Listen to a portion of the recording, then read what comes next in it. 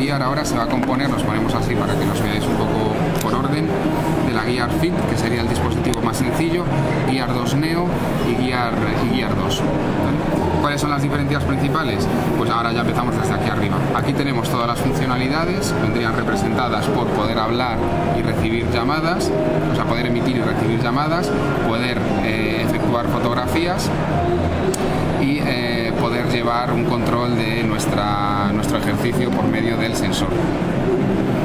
El segundo Gear, en el Gear 2 Neo, podemos realizar llamadas, recibir llamadas, no podemos hacer fotografías. Esto que veis aquí es un sensor de infrarrojos, bueno, un, lector de infrarrojos para poder eh, cambiar los canales de, nuestros televisores, que también está presente lógicamente en el tope de gama.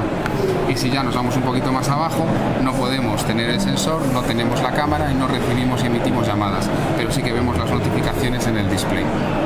Es más, si recibiésemos una llamada, sí que vemos que nos llaman y podríamos incluso rechazarla. Lo que no podemos hacer es hablar o recoger. Aunque tengamos un manos libres eh, Bluetooth o algo, tampoco... Si tenemos un manos libres Bluetooth es diferente, porque entonces es el Bluetooth el que va a recoger la llamada. Pero si podríamos contestar la llamada desde, desde No, la solo mochila. rechazarla, Ah, solo te permite decir, pues para que no siga sonando, rechazar. Habría que realizar.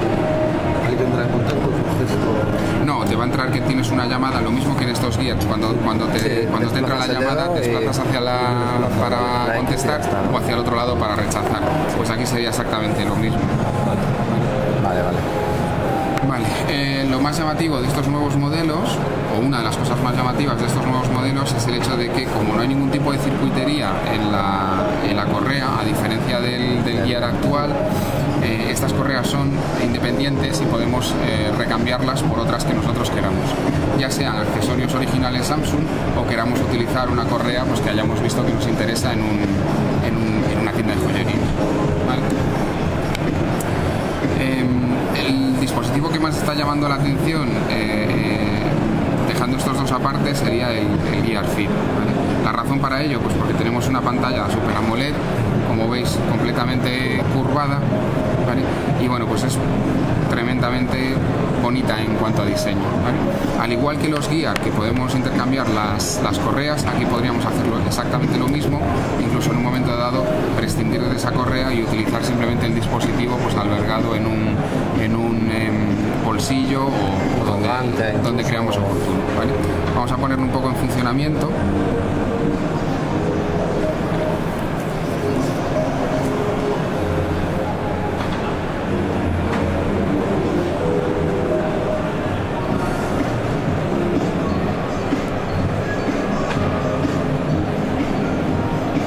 Vale, como veis, todos mediciones bastante, bastante similares. Entonces podríamos utilizarlo, podríamos utilizarlo como un monitor de ritmo cardíaco. ¿De acuerdo? Aquí tenéis la parte de las notificaciones.